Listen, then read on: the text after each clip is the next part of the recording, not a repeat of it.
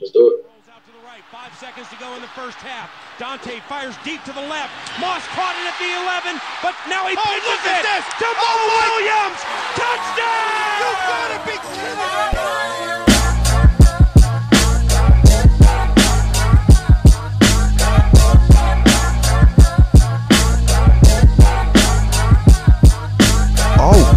Welcome back to another episode of the Climbing the Pocket podcast. I am your host, Jason Brown. You can find me on Twitter at Brown Jason. Not joined by the whole crew right now. Will be joined by the whole crew eventually, plus a special guest. But right now, I got QB1 and QB2 here to get things started with all y'all. So I'm gonna go ahead, kick it over to the man, JR. What's going on with you, my man? How you doing? How you been since the last time we talked?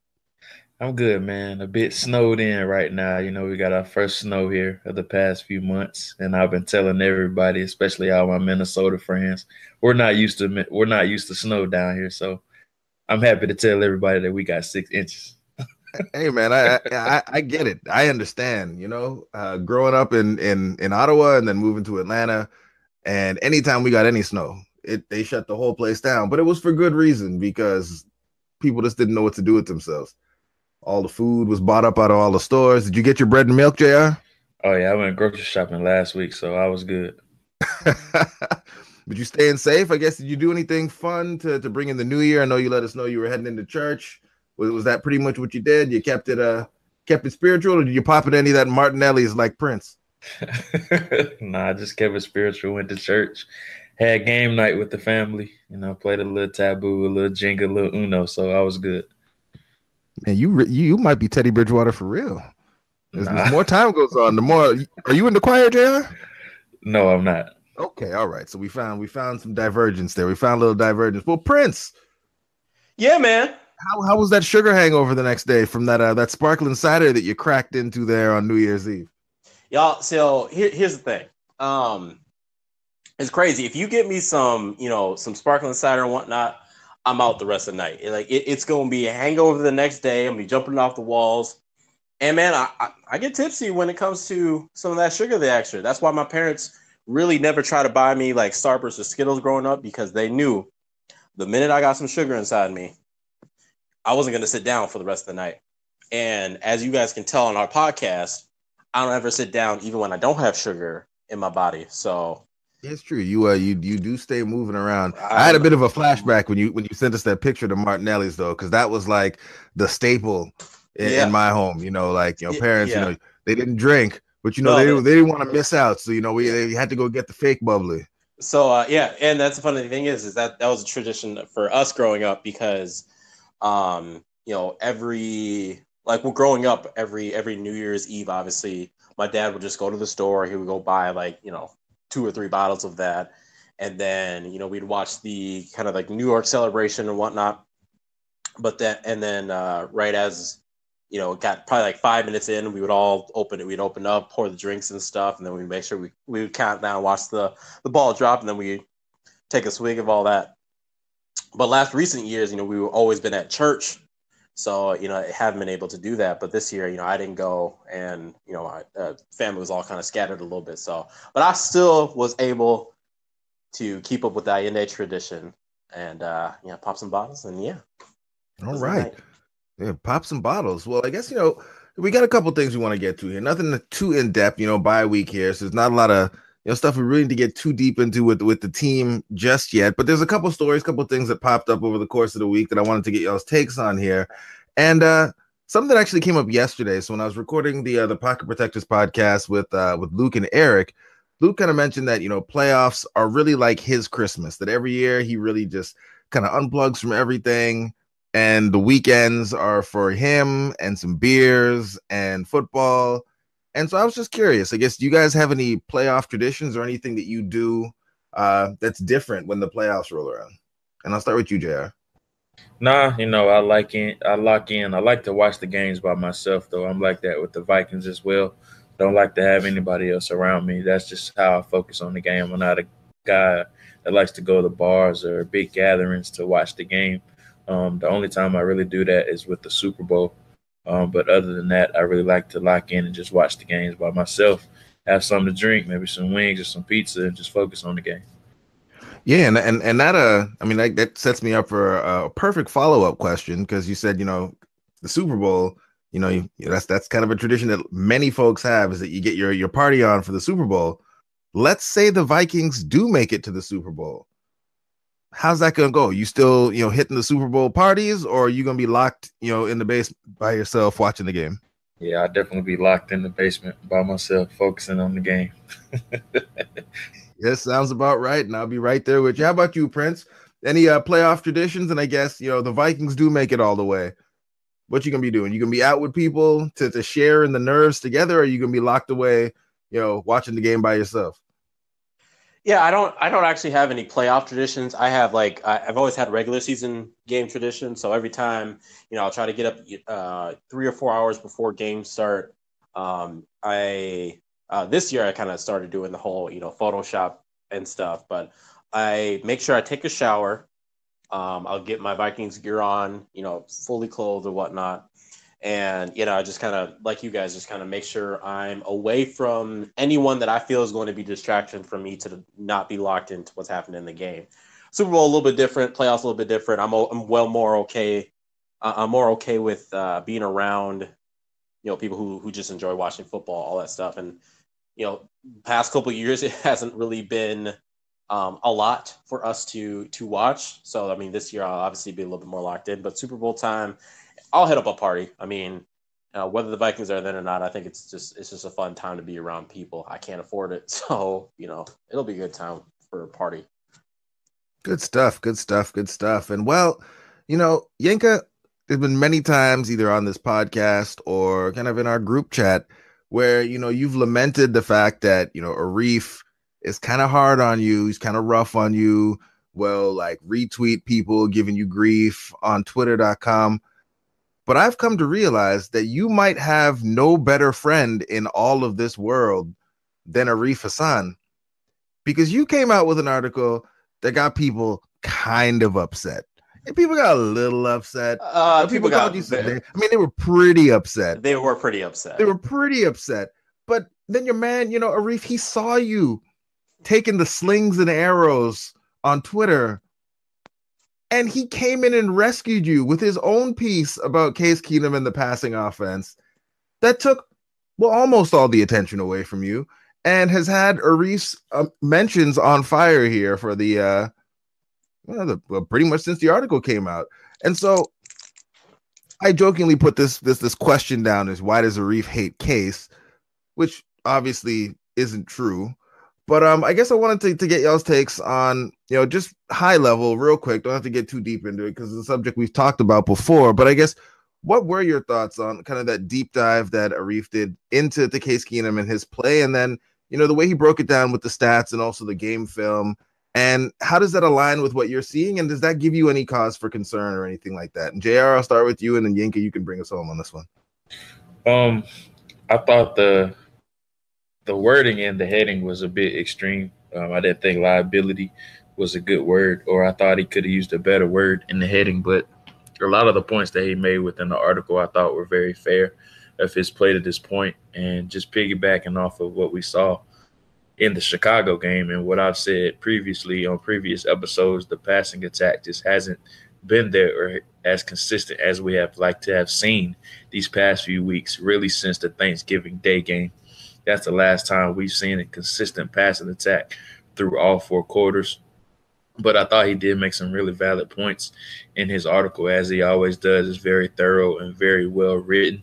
Um, just going back to the Chicago game last week, I thought the game plan was very vanilla. Uh, you could tell that Pat Shurmur didn't really put an advanced or detailed game plan together. And I think a lot of the thoughts that are out there, a lot of theories that are out there as far as the Vikings not wanting to show their hand to playoff teams or some of the kinks and twists that they have made in their passing game through the latter half of the season and keeping it very vanilla. I think that is a very fair argument.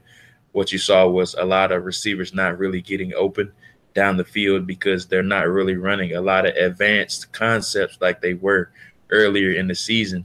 And, you know, a lot of very, very vanilla concepts that they were running earlier in the season when Case wasn't really comfortable with the game plan as far as running the same concepts over and over and maybe keeping a small package of plays was keeping Keenum most comfortable. That's what you have seen last week, especially against the Bears. So I thought Arif really made some really good points, and Yinka can probably touch on a little bit more of what he actually went over in the article.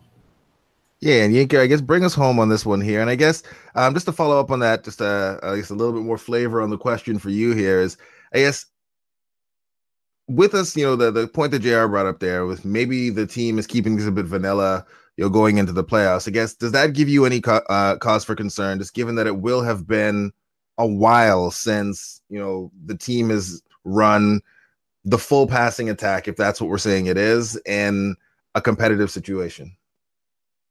Yeah, I mean, um, I I've I've, I've said it uh, both offline with you guys and just in in general, like the the way that the offense has regressed. I mean, I know that it it it almost feels like an excuse when we're just like, oh well, you know, we're just running a vanilla offense so that we can explode during the playoff. But I think you've seen enough teams. You've seen the Patriots. You've seen um, uh, the, uh, the Seahawks in, in previous years that really just kind of step on the throttle going into the postseason. Um, and I much prefer the team to kind of step on the throttle um, rather than pull back and, and say, oh, yeah, well, you know, we're saving all our best stuff for the playoffs. Well, you can you can easily get bounced out of the playoffs if you haven't, you know, if you haven't practiced and showed in the game film or in the game that it, that it works. Um, if you've noticed some of the, you know, trick plays that we've kind of tried to do has really um, hasn't really worked out that much. And I, and if we have some of those extra plays that are we're still going to try to run the playoffs and they don't work, you know, we need. I think we do need to get back to um, get back to the things that we were doing well, and it has concerned me more so than it has been. Oh well, I think that we're going to, you know, definitely get back to what it is. So I don't know. It just to me it feels a little bit like an like an excuse, but I'm I'm hoping that I'm wrong in that in that essence. Um, as far as like the uh, Arif Hassan piece, so I mean, I have to always clarify with people like my Case Keenum piece wasn't a hit. It, it wasn't a hit piece. It wasn't a. I think Case Keenum is bad. I didn't even think like I didn't even say he was a liability. My my piece essentially centered around thinking, you know, maybe I was wrong to think that this this guy was just a you know just a backup quarterback or career backup, and maybe it's more of a oh he's an average quarterback if you get him around you know the best possible pieces um, for you know, for the case. And that, you know, and for some quarterbacks, you can't say that all the time. Even if you get them some really, really nice pieces, good wide receivers on the edges, um, a decent offensive line, they still, you know, won't perform very well. I mean, I think Blake Bortles is a is a good example of a guy who had really good weapons and didn't perform uh, the way that he should have. But um, as far as Arif's piece, I funny uh, jr talked about the, the title. It seems that uh, both of us are terrible at picking out titles because that's what seems to get people all upset. But i, I think that I, I actually agree with it. I, I do think you know Sands Kai Forbath kicking and stuff i think case keenum is easily uh, the biggest liability that the vikings have going forward. But i mean it, it when you kind of extrapolate that point i mean a lot of times if you look at who was winning in the playoffs, it's because of quarterback situations. So it's it's really not that far off to say, oh well, a team starting quarterback is the biggest liability because yes, wins and losses a lot of times in the playoffs are heavily tied to good and bad quarterback play. Um, and we're gonna mark this down. Mark it down, people. This is the day that Yinka finally, on a recorded medium, admitted the overall importance of the quarterback and how much of a factor it's, they are in the wins and the losses. It, it's in in the playoffs. It is important, but it's not the only important thing. I'm well, clarifying my. Yeah, and and and, and that's what that's where you know obviously good success rate as far as running the football. You know, good. Uh, we have a great number one defense, them playing at a very, very high level. And yes, your quarterback not playing like trash is important, is essentially what I'm trying to get at. Um, yeah, and, and, so and I, I, think that's I think that's the part that I think that the folks need to understand a little bit too is that in pointing out some places that you know potentially could be causes for concern or places where you know, maybe Case's regressed a bit. It's also not saying that he's playing like complete trash. Like the Vikings office has still been, you know, top 10. And, you know, from what we've seen, you know, tweeted out by, you know, ESPN and other places, number one defense coupled with a top 10 offense.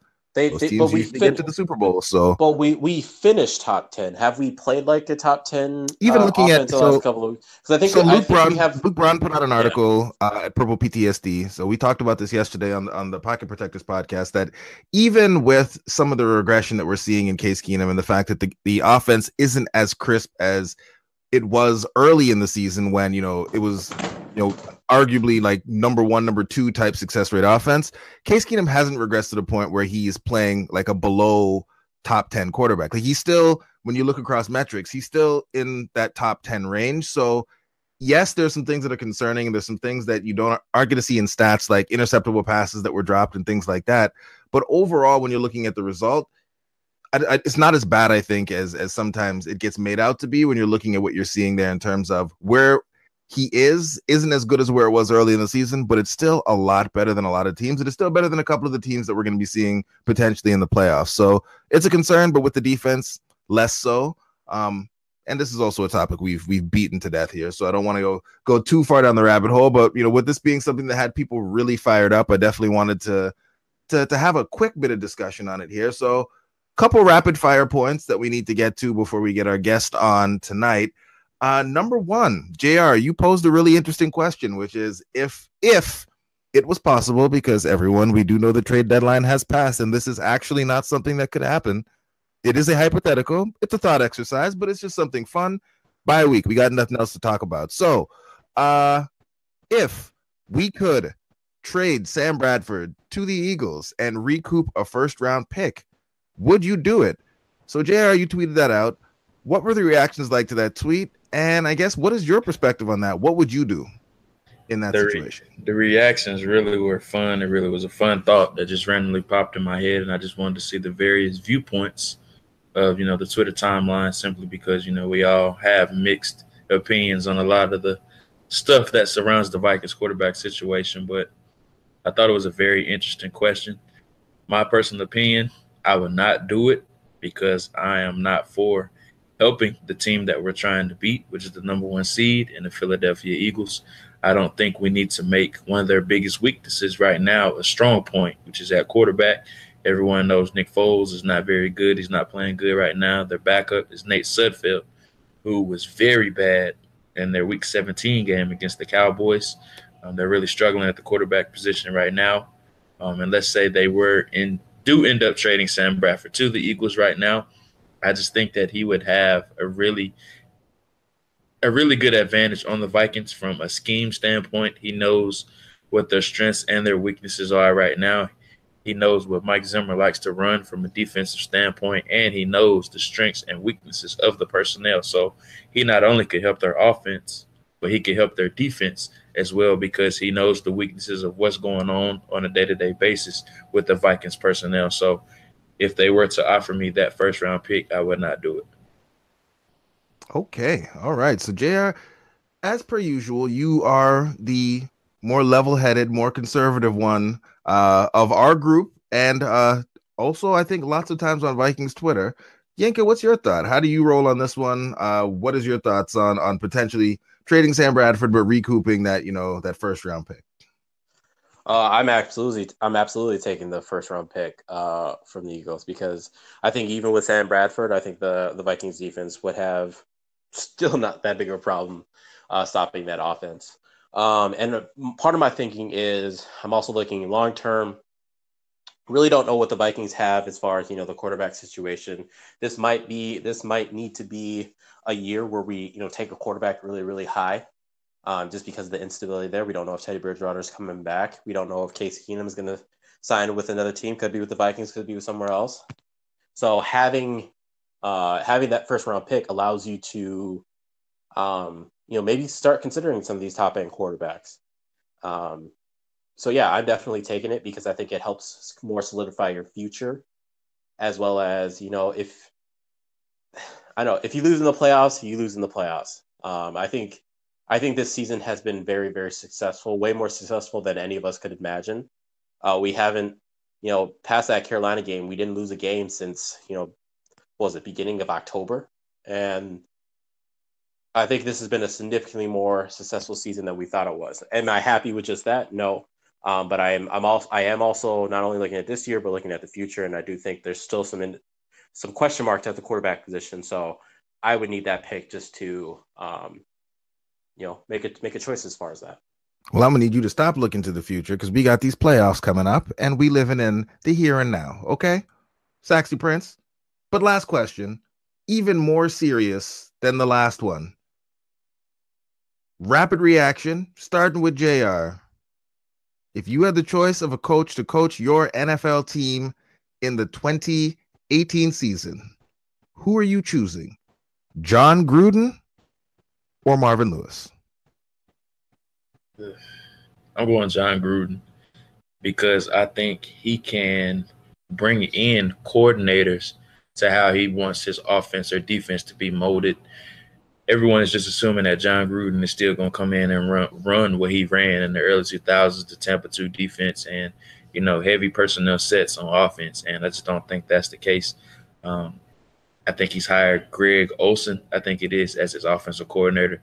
A lot of people were thinking that he was going to hire Jets offensive coordinator John Morton as his offensive coordinator, but he did end up hiring Greg Olson.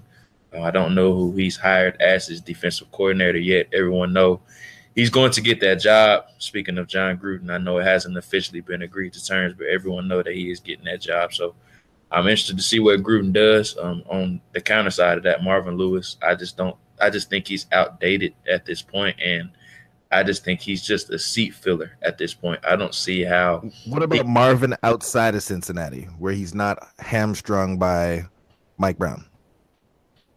I just I'm not a big fan of Marvin Lewis. Nothing about me has even striked as you know being excited about Marvin Lewis, but Jon Gruden does intrigue me a little bit. I don't think he's going to be that guy from the early 2000s. I think he is a little bit overhyped right now. I don't think he's going to come in and be a world beater or a culture changer right away for the Raiders, but I think he can get them a little better than what we've seen in years past. Okay, fair. And Yinka, how about yourself? Jon Gruden or Marvin Lewis? Who you picking? Uh, this is a tough one for me, just because, like, I mean, I was young when Jon Gruden was a was a head coach, and I, I, yeah, obviously everything that I heard about, I'm like, yeah, Jon Gruden, you know, he's this guy, he's this fiery guy, talks really fast. Um, he's a good head coach because you know, you know, goes and goes ahead and wins. But then obviously I started looking at it, and it's just like, well, is is Jon Gruden really the guy that we all thought that he was? I mean, Tony Dungy left, and you know he really t- he really inherited a pretty decent squad and continue to win with that squad.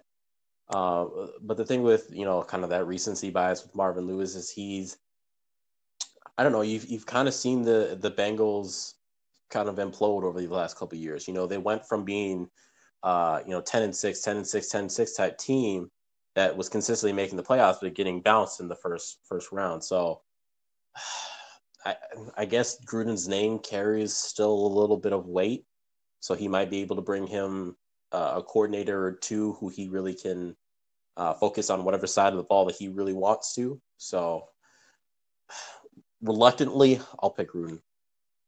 I figured that's where we ended up, but I, I wanted to pose it like that just because I, I, know both y'all feel like Jon Gruden's a bit overrated. I just wanted to see how overrated you think he is.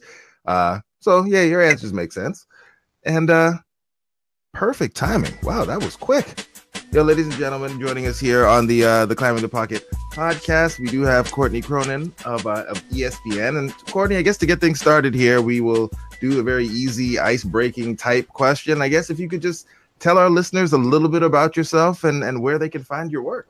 Sure. I um, am new to Minnesota, moved here roughly four and a half months ago. So still getting used to all of this cold and ice and snow. But I mean, I guess I should sort of already be used to it because I'm from the Midwest, a Chicago native, born and raised. Um, I my last I was my last stop was out in the Bay Area covering the Raiders, Warriors, and 49ers. So went from a situation in Oakland where they were, you know, wild card team last year after, you know, not expecting to make the playoffs particularly, and then I'm in Minnesota where you know, all hell breaks loose and now they're, you know, Super Bowl contender. So essentially, you're welcome, Vikings fans, because clearly everywhere I've gone, um, I've been the reason the teams have done so well. But that's and that's obviously a joke.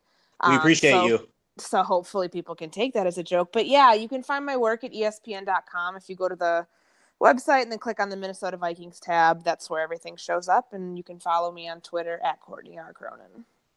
If you are really the reason that the uh, the Warriors keep winning, then or, or or we're winning, then Jr. is our resident LeBron stan is already very upset with you. Oh man, they were winning before I got there. They won the title in uh, 20, 2015. I meant the Raiders. Uh, if I didn't say that, I'm not sure. I can't remember if I said that or not. Um, they were expected to go, you know, eight and eight. Uh, hadn't made the playoffs in what was it, 13, 13 14 years. And then, you know, surprisingly, um, you know, finish the season really strong. Uh, obviously, lose Derek Carr and then lost in the AFC wild card round, which was a year ago this weekend. Yeah, we're just giving you credit for all the winning that was going out there. That's fine. I'll take that. That's that's totally fair. Yeah, so all of it. So I guess we have you on, and you know we've been stalking you a little bit online, and you know did find out that you are from Chicago, and so we decided we'd wait on kind of doing the the recap on the Bears game until we had you online here. And I guess what were your thoughts from your perspective? And then I guess before we get to that, did you grow up a Bears fan? You know, I grew up during a really strange time. There was no marquee season for the Bears and marquee era during during my quote unquote Bears fandom. You know, growing up. I mean, I was in high school when they played in the Super Bowl against the Colts, and yeah, that was a fun time. And you know, I love watching Devin Hester. Uh, love watching Julius Peppers, but I mean, you know, for me, it was kind of like, eh, you know, I, I just wasn't really much of a Bears fan growing up, but my family was more involved in college football. So that for me was, um, you know, kind of where I cut my teeth with football and got to learn about the game. Uh, really kind of grew up a Northwestern Wildcats fan. Um, and then I went off to Indiana to college, so that stopped. Okay, all right. Not a Bears fan, so that that's a, a positive start for us, I guess. What were your thoughts about about the game that the Vikings just played against you? I guess your hometown team that wasn't really your team. Yeah, it was. I mean, I think that Trubisky did all that he possibly could um, under those circumstances of having you know down to two starting offensive linemen, um, been down the you know all the receiver depth since like day one of the season. So that's been uh, that was tough. Uh, I think that this is why we're hearing so much about you know the future of what the future holds for Chicago um, in terms of Pat Shurmur or in terms of another offensive-minded guy, a Josh McDaniels, somebody who can be a quarterback whisperer. It's actually something I'm writing for tomorrow, um, just on you know where why it would be a good fit to see Shermer there and, and for his future and for Trubisky's future because they were overmatched from the beginning against that Vikings defense. If you're already down starting guys you're, and you have a rookie quarterback back there, there's no hope. And you know, you saw it there on the on the tremendous, I think, kind of a, a really nice way for the Vikings defense to cap off the season in, in a statement performance. That goal line stand, you know. I think it was six plays uh, within the five yard line there to close out the game that they held uh, the Bears. And, you know, that last ditched effort, uh, I think Trubisky to Howard trying to throw that ball, uh, you know, just just kind of shows how overmatched he was. But I do see the potential there for the future and how good he can be, and that that is their franchise guy going forward, at least as far as we know right now. Um, there are few there there's several pieces away not a few. A uh, few on offense uh, about you know four or five more on defense. Um, but it, it should be you know i do think that the bears are going to be in the depending if they can knock this higher out of the park they're going to be finally contending in the nfc north maybe two three years from now. Yeah that's fair. And, and you touched on uh, on Shurmur there. And, and one of the things that I guess I was, I was going to say this week, but it's really been a constant all season. And I, know you do. And I listened to you on the Purple podcast with uh, with Matthew Coller. Um, that you know Vikings fans can be very very touchy when you know anyone puts down analysis of any player, but especially Case Keenum, um, that is can be perceived as negative. And so this past week, Arif Hassan wrote a piece that got people very fired up, talking about the the passing game for the Vikings. And I guess we're curious from your perspective because you're around the team. I guess have you heard anything, or, or what are the players saying about kind of how the the passing offense has slowed down over the last little bit, or is that even something that uh, that that is a concern internally? You know, I'm not really sure if it's as a concern right now. Um, I mean, it's certainly to the on the internal part. It's I mean, I'm, they're not saying it all that much, but when you take a look, the offense has looked pretty conservative um, you know, ever since the Green Bay game and, and, the way that they capped off the season. I mean, certainly taking into effect the the offensive line injuries and you know not being able to establish a ground game in Green Bay. Um, they were able to do that against the Bears pretty early, but you're, you're I don't know if you're seeing if you're seeing this whole you know uh, plateau that people were expecting from Case Keenum. Um, he hasn't had any bad, like you know, super bad throws. I mean, I can count one in Green Bay um, that you know probably makes your stomach turn a little bit. I'm trying to remember what quarter that was in, um, but nonetheless, I mean. I think the offense hasn't looked as explosive, uh, you know, in recent games as it has maybe I don't know pull pull week ten out of there. You know, when he when he hits five different players for touchdowns in Washington, you, know, it's a different it's a different look offense right now. But you know, I think you take a look at the cumulative nature of this season, where the Vikings ranked 11th in the NFL with 356.9 yards per game. Um, you know, in the way Keenum, you know, he's kind of become this accidental in some regards MVP candidate. Uh, you know, 22 touchdowns to seven interceptions. You know, that's a pretty for for a guy that we didn't expect to be in this position. It's a pretty good ratio to be in, um, and he spread the ball out quite effectively. I just think that you know the last few games of the season they've been hobbled more. I mean, you take a look. Uh, Rudolph admitted he hasn't been a good football player playing through this ankle injury. He hasn't been as effective.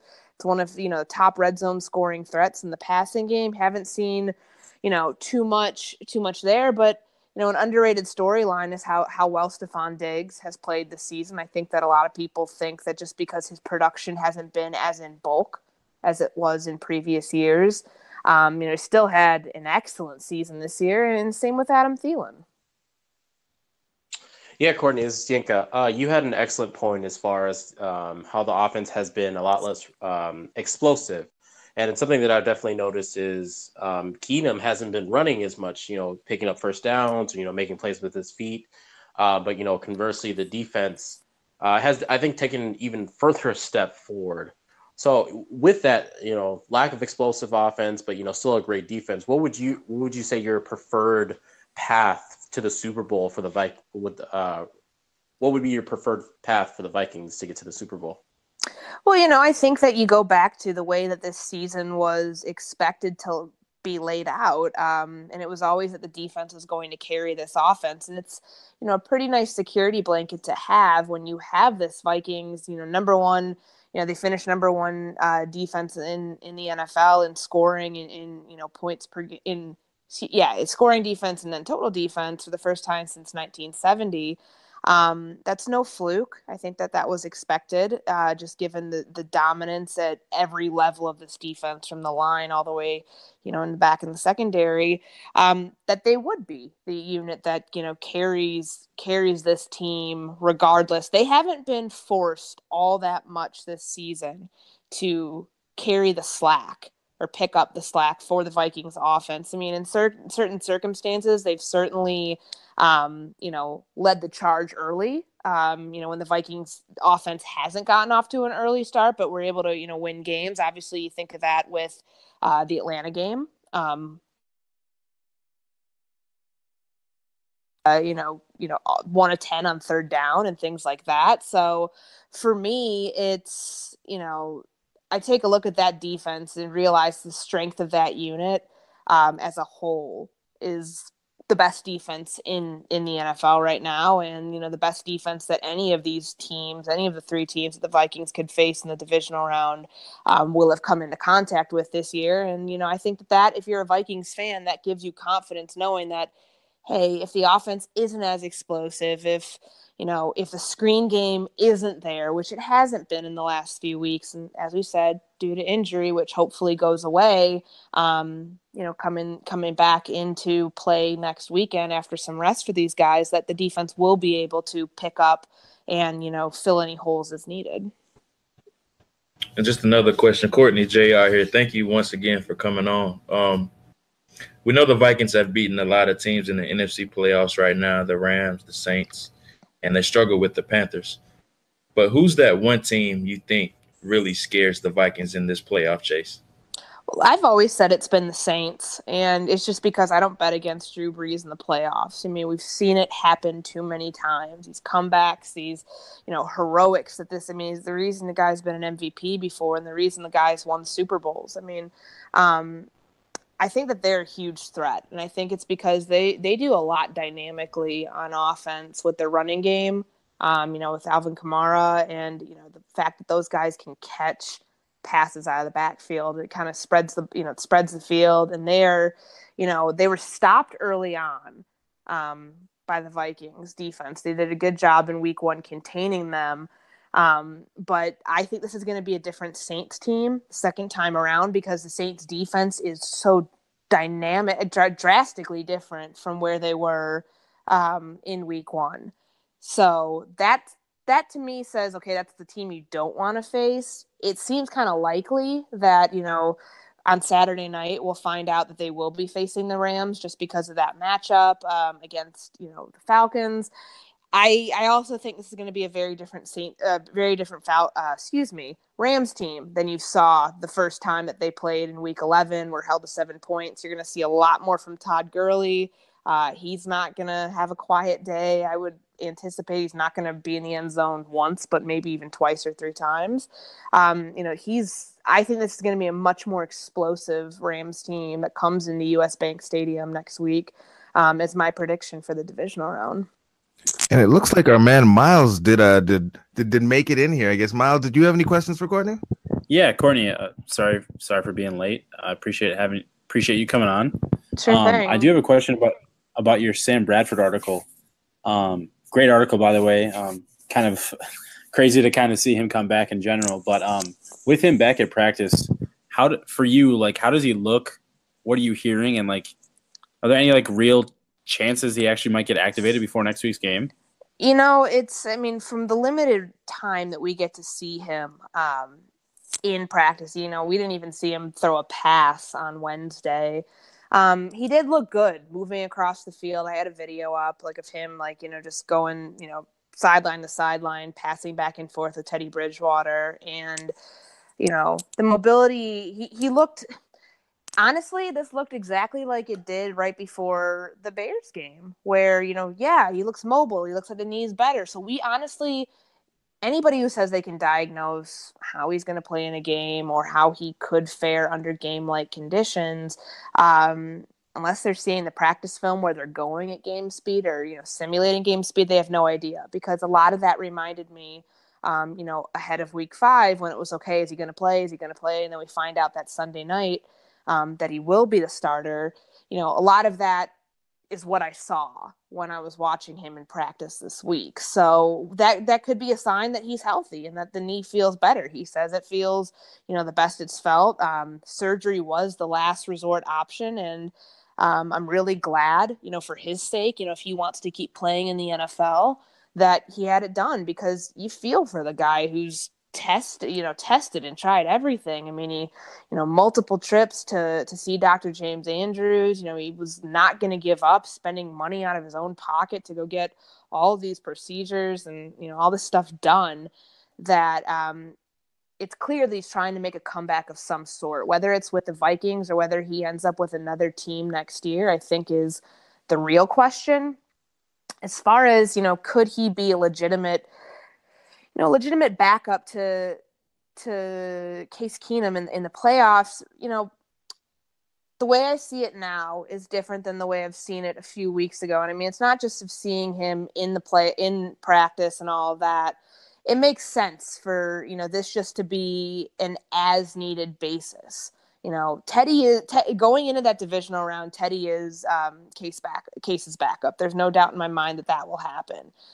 If, however, by some, that's why they activated him now because they have that three week window. If there was some injury or something else happened that maybe if it was if they were playing for an NFC championship um, and they needed extra quarterback depth, then they at least would have him available. But I don't think they're thinking right now of okay, well, you know, we have to get this guy ready for the divisional round. It's just a matter now of can he can that knee hold up under game like conditions? Because nobody wants to see a repeat of what we saw on october 9th i mean that was really hard to watch.